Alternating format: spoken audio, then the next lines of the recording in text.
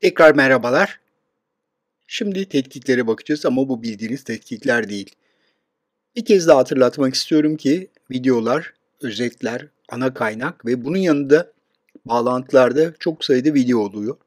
Bunları lütfen bakınız. Kafanızdaki soruları ortadan kaldırmaya gayret ediyorum. Onun için çok fazla sayıda size doküman, video, kaynaklarda sunuyorum. Tekrar ediyorum lütfen onlara bakmayı unutmayınız. Çünkü burada eksik kalanları orada tamamlayabiliriz. Aslında eksik kalan bir şey yok. Burada fazla olduğunu gayet rahatlıkla sizlere söyleyebilirim. Şimdi pek bakılmayan tetkikleri bir gözden geçirelim. O bildiğiniz standart istenen kan tetkikleri değil, başkalarını göreceğiz. Mesela D vitamini, homosistein, folat ve magnezyum. Bunlar önemli. Neden? Çünkü bunların düşüklükleriyle damar tıkanıklığı arasında ilişki var. Kimisinde güçlü, kimisinde zayıf ilişkiler var. Ama D vitamini ve homostein düşük olmamalı. Folatı ve magnezyumu da buna dahil ediyoruz. Yoksa riskiniz artar. Bu da bizim bakmamız gereken bilinmeyen tetkiklerden.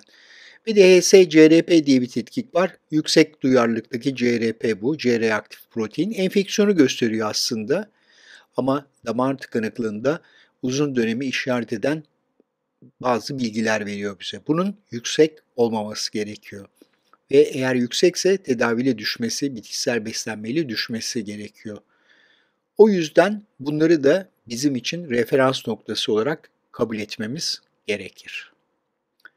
Şimdi kolesterole geldik. Bakın şimdi kolesterol ile ilgili yavaş yavaş hedeflerimizi ortaya koyuyoruz.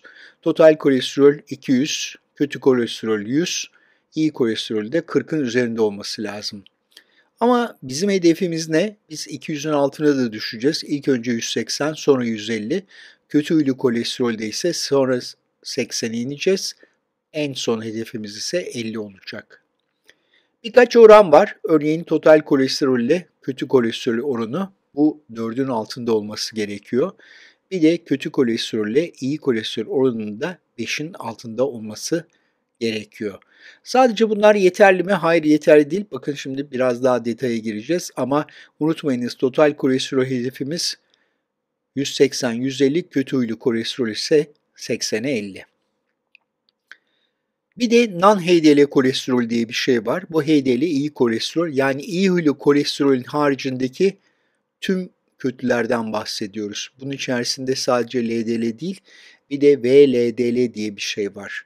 O yüzden riskimizi hesaplarken ve özellikle bitkisel beslenme ve tedavinin ne durumda olduğunu görmemiz için bunlara bakmak şart.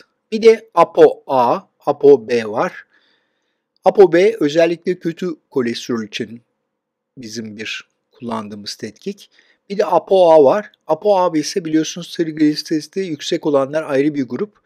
Özellikle onlarda ApoA'ya bakmak gerekiyor. Çünkü e, yanılmamak için iyi bir değere ihtiyacımız var. Bir de lipoprotein A var. Bu da gene LDL yani kötü kolesterol için bakılması gereken tetkikler.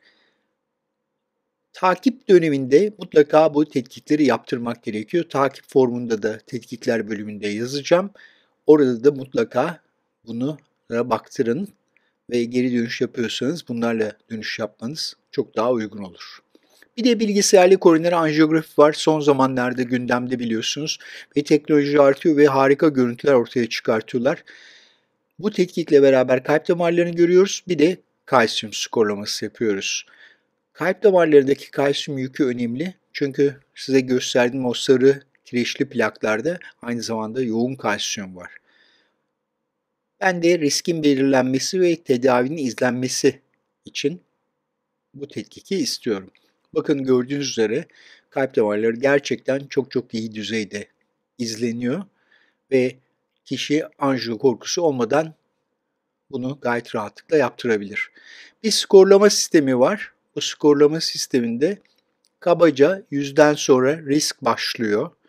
Görüyorsunuz yüzden sonra sarıdan yavaş yavaş renk kırmızıya doğru gidiyor ve 400'den sonra ise çok artıyor risk.